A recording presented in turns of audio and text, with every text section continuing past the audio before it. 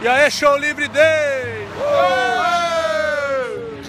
Gente, nós somos a banda Dona Zaira e a gente participou do Show Livre Day em 2012 e foi uma experiência ótima pra gente, porque o Show Livre é, um, é uma equipe boa, é um programa interessante, visto por pessoas legais e foi uma experiência muito boa pra gente mesmo.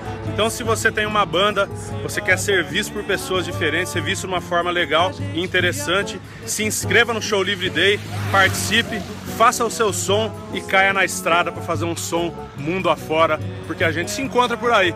Valeu, moçada!